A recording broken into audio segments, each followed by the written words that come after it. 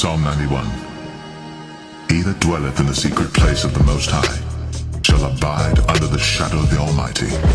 I will say of the Lord, He is my refuge and my fortress, my God. In Him will I trust. Surely He shall deliver thee from the snare of the fowler and from the noisome pestilence.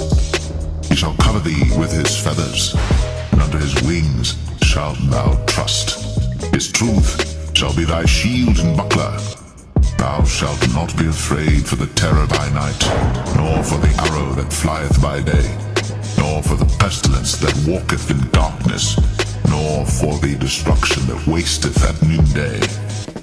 A thousand shall fall at thy side, and ten thousand at thy right hand, but it shall not come nigh thee. Only with thine eyes shalt thou behold and see the reward of the wicked because thou hast made the Lord, which is my refuge, even the Most High, thy habitation. There shall no evil befall thee, neither shall any plague come nigh thy dwelling.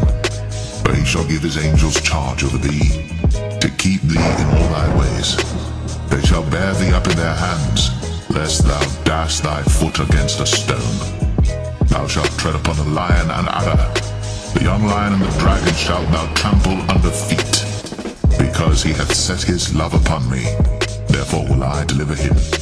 I will set him on high, because he hath known my name. He shall call upon me, and I will answer him. I will be with him in trouble. I will deliver him and honor him. With long life will I satisfy him, and show him my salvation.